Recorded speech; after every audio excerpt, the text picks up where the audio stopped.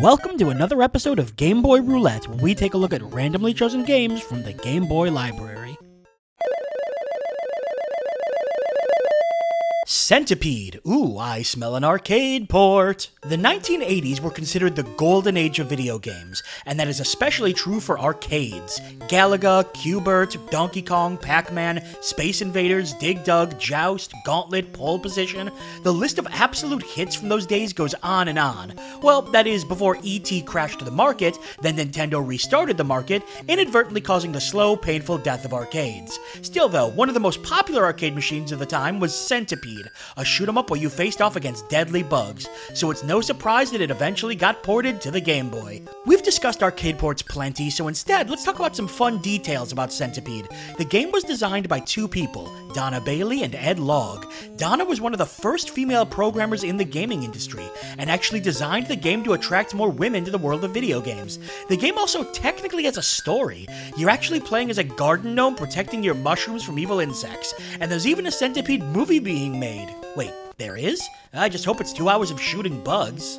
But forget all of that because the cover is amazing. They've taken the most simple of games and given it an insane cover that looks like something out of a rock album. Wait, is that a lightsaber? Okay, maybe there's even more to this game than I thought. Well, it's a legendary game, but how did the port go? Let's blast away with Centipede. Oh, it was made by Majesco, the port anyway. And Morningstar, who probably did other games. But of course, Atari and Accolade Inc. Oh god, so many people are involved here. Look at that title screen. Centipede! Beautiful thing, isn't it? The Code Monkey. How many people worked on this game? I guess them. Whatever. Centipede. It's about as simple of a game as you can get. Oh! Oh, there's difficulty settings. And there's two Alternate, compete, team. Or probably, no, that's alternate. Uh, let's start on novice, for I am a tiny centipede baby. Yep, it sure is. Pew, pew, pew, pew, pew. I always loved Centipede. It's actually one of my favorite arcade games. It's like Galaga, but way more fun. You can move much more space. You actually have stuff to do. Uh-oh. These sound effects are decidedly arcadey in a good way. And the animation... It's a little bit jittery up there, but not a big deal. Oh god! So good at this. Is this good or bad? It's bad. okay, I learned something. That thing is bad. This music's actually really catchy. Alright, clearly it's time to jump up to expert mode. Let's go. Oh god, it's so fast. Oh god. No, no, no, no, no, no, no! Centipede. Oh god. Centipede. There we go. Bam. Yeah, I never knew that this game is technically about a, a lawn gnome? Whoa. I do not remember that Pokemon in this game. Another thing I like, when they get to the bottom, it's not necessarily over. You can keep moving around like this. Pew pew. Level 30? Oh. Oh, so all it does is change what starting level you're at. I'm okay with that. That's certainly better than the arcades.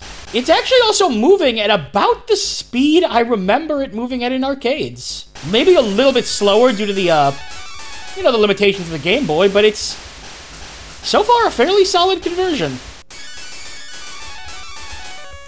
No. Oh, hey, I actually killed it.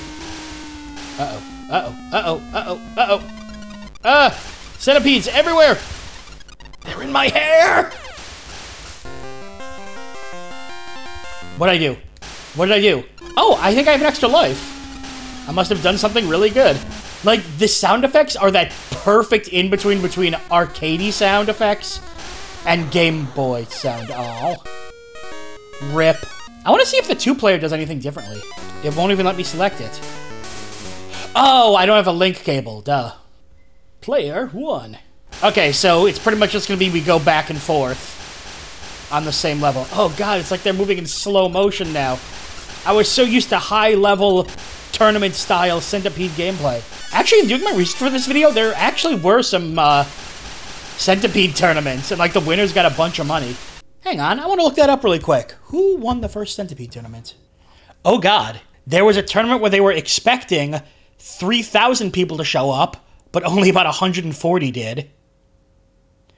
So they weren't able to recoup the money that they were going to give to the winners, and then the checks bounced. That was during a time when Atari, like, they had made all the cool games, but they also were making a lot of mistakes.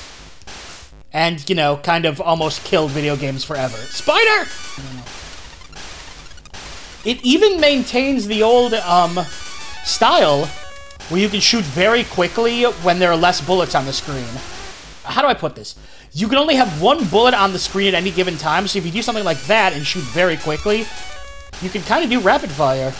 It is miss. I mean, this is not really. I can't really fault the Game Boy for this or the designers for it, but it is missing that color and style that made the original so fun.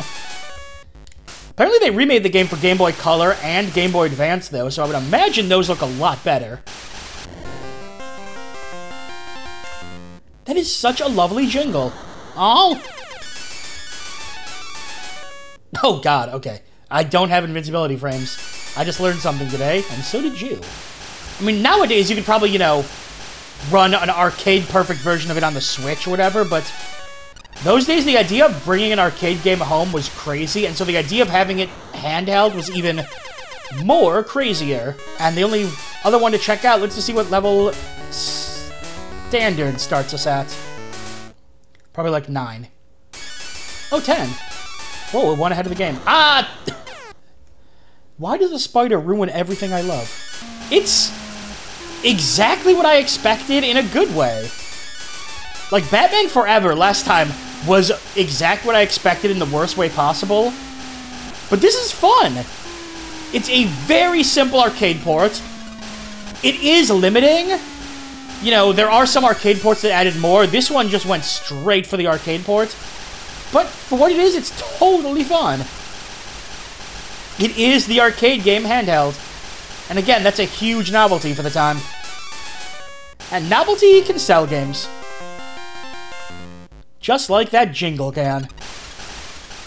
Sometimes arcade conversions go exactly as they should. There are some arcade ports that try to add in new gameplay or really mess with the formula, but Centipede kept things nice and simple, just bringing the direct mechanics over. And honestly, that's fine as long as the gameplay is still there, and thankfully it was. Centipede is all about speed and quick reflexes, and they managed to keep that completely intact while shrinking the game down. It moved and played about as well as the original, which is certainly better than a lot of arcade ports I've played. Adding in some two-player modes and adjustable difficulty was also nice, adding a pinch of variety. If anything, that's my one nitpick. The variety was just a pinch. You've seen the whole game within the first few minutes. It's just about getting a high score, so you're not going to be finding any more story or anything. And the lack of colors does hurt it, as Centipede was one of the most bright and colorful arcade games of the time. But again, those are nitpicks, and they don't take away from the experience at all. If you want a proper arcade game shrunk down perfectly to the Game Boy, look no further than Centipede. But now, on to more pressing matters. They're seriously making a movie out of this? And that's all for another episode of Game Boy Roulette. Make sure to subscribe so you can follow the series as we continue to dig through the Game Boy Vault. I'm Brian J, and I'll see you next time.